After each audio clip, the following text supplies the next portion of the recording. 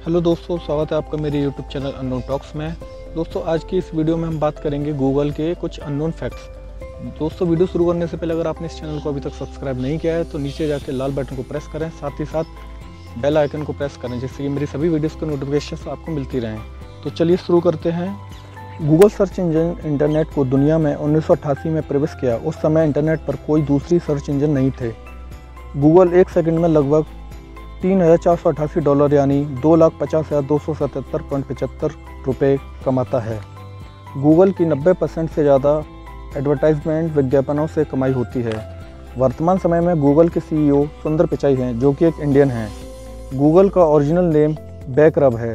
वर्तमान में गूगल के वर्ल्ड में लगभग सत्तर हेडक्वार्टर हैं। जब आप गूगल में सर्च करते हैं तो आपने नीचे में देखा होगा कुछ तरह से गूगल इसका मतलब है कि गूगल के पास अरबों खरबों पेज हैं, जिसकी गिनती नहीं है।